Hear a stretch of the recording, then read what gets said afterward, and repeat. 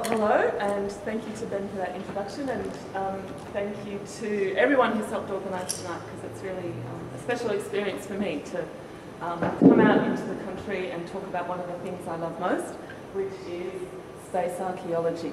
And I'm going to explain to you a little bit more about what that is and how it relates to the film that we're about to see very shortly. So just some definitions first of all. People usually think archaeology is something to do with old things, and a lot of the time it is.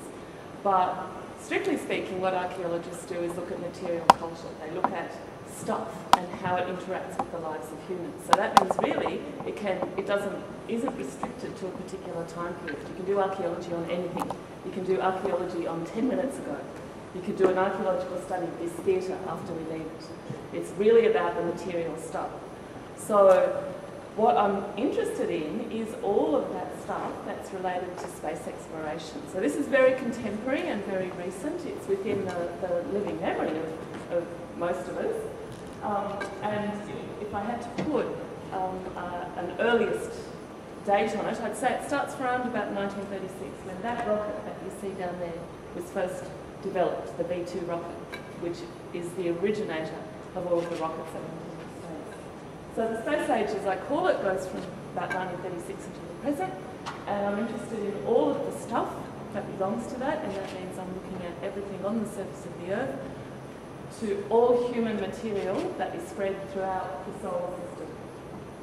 So what we're going to do very quickly tonight is go on a very brief tour of the solar system and have a look at some of the places and the objects that I study as an archaeologist and which I think have a, a tremendous significance for human history and for how people feel and interact with space. So we're going to start off looking at a space site on Earth, one in Australia.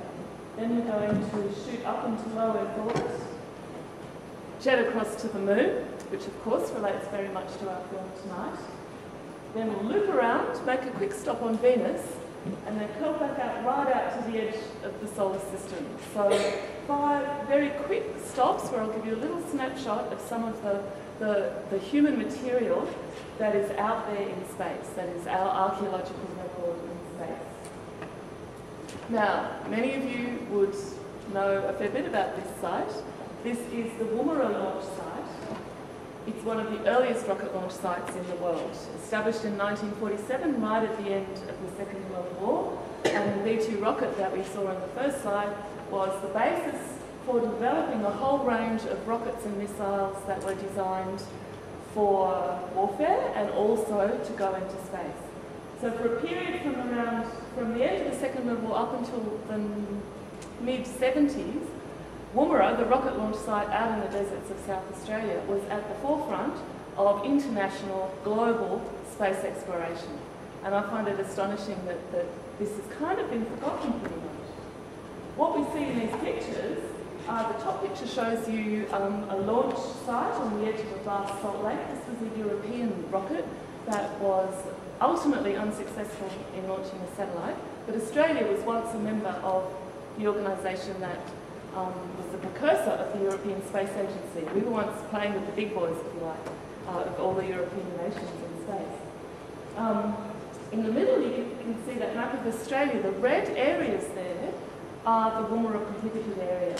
So um, in, up until about 1980, um, um, let's say, it was both of those red areas there were part of the rocket range. Now it's just the the middle South Australia. But that red area there, it's 127,000 square kilometres. You can fit all of England inside that red area. It's huge. It's one of our biggest assets. In the 1960s, Woomera was the second busiest launch site in the world after Cape Canaveral. Busier than anything in Russia, busier than everything in Europe, busier than anything else. This is a major space site and it's in Australia, and it's kind of a bit forgotten these days, apart from the detention centre. What's also forgotten is that picture you can dimly see, black and white one on the far right. That's the WRESAT-1 satellite, launched in 1967. The launch of this satellite made Australia the fourth nation in the world to go into space. Yes, that's right, the fourth nation. And we've kind of we don't make a big deal about this anymore. This is really significant stuff. So when you look at the site of Woomera, it's played an incredibly important role in the development of Australian technology and of international space technology. And it's something that I think we need to do more about. We need to celebrate this place a bit more. It's the most important place. So that's our little site on the surface of the Earth. Let's move up into Earth orbit now. You can probably just faintly make out on the left-hand side of the picture um, a little circle, which is the Earth. Can people see that? And you can probably just see a whole little, little white dots all around it. If it was a bit darker here, what you'd see is the Earth in the middle surrounded by space junk. You see the white ring around the Earth? That's the low Earth orbit region. That big sort of wide circle is the geostationary orbit. That's where all of the telecommunications satellites are. Now let's move on to the Moon, our third stop in this little tour of the solar system. And of course, we're going to be hearing a lot more about the Moon as we watch the film coming up. What this picture shows is the location of all of the Apollo landing sites. So the little blue writing you can see uh, is where all of the Apollo missions from 11 through to 17, with the exception of 13, and I'm sure most of you remember why that is, and if you've forgotten, the film is well enlightened. So what I'm going to talk a little bit more about is the Apollo 11 landing site, which you can see uh, on the right hand, the lowest right hand blue writing, that's on, on the edge of the Sea of Tranquility. So Remember, these are just the Apollo landing sites. There are also a number of un, unpeopled missions, hard and soft landing spacecraft, American ones all over the place on the moon, also a whole bunch of Russian ones, and I think there's a of Indian material up there too. So, Tranquility Base. This is, as for an archaeologist, this is such an interesting site. This is the first place where human beings set foot on another planet, on another world, on another celestial body. So there's a whole lot of historical and social and political reasons why this place is pretty important and pretty special. But for me, it's also an archaeological site.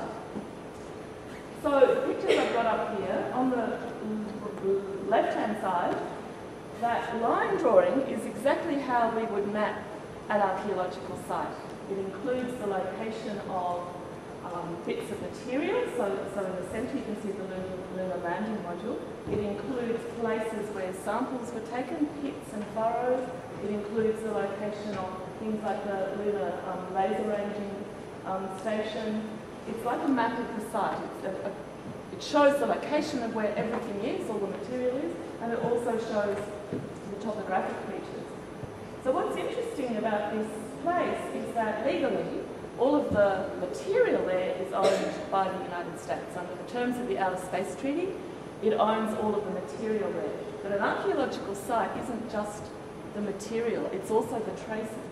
So the archaeological site of Tranquility Base, where the Apollo 11 is all of the footprints and the tracks and the, the marks and the holes and the furrows where they took samples and where they carried out different activities. However, um, these the site as a whole is not protected in any way under any sort of international agreement or treaty or, or convention or anything. So the material might be safe as long as the US wants to say, um, we're keeping this, we own it, you can't touch it, that's fine.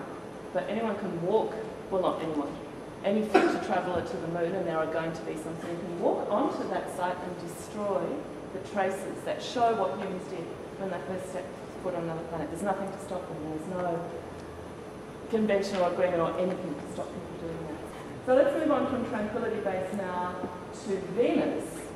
Venus is interesting. If the moon is sort of a bit equal US USSR in terms of the material that's on it, Venus is almost entirely dominated by the USSR. So there have been two US um, missions to Venus that have landed on the surface, and there have been 16 um, Russian ones. The one that is my favourite is the Venera 14 mission. The picture at the top shows you what the Venera 14 um, lander looked like after it separated from, from the spacecraft that took it there and after it had come through the atmosphere and settled down. So it's still quite likely when you look at the um, environment and atmosphere and conditions on Venus it's quite likely that this still actually survives, sitting out there all by itself. Um, not quite all by itself. So the map on the right shows you the location of some of the other landing sites on Venus, and they're mostly Russian ones. But this planet has a whole number of archaeological sites, very interesting places. And I used to say, um, or think that they're all pretty safe. No one's going back to Venus anytime soon. But as some of you may have heard, the European um, Space Agency and um, a few other interested players are actually planning on going back to Venus. So from my perspective as an archaeologist, I'm interested in how they might interact with these places, what they might do with these sites. Now, our final stopping point in this space archaeology tour, right on the edge of the solar system, there are two spacecraft we've lost contact with, Pioneers 9 and 10. And there are two, we're still in contact with Voyagers 1 and 2. For some reason, Voyager 2 is my favourite. The picture down the bottom um, shows you what, on the bottom right, shows you what it looks like when at the very edge of the solar system. What happens when all of the solar wind and the influences from the sun actually come slap bang up against the interstellar medium, all of the other things that are happening out in the rest of the galaxy. And the Voyagers have passed that point. They're now going out.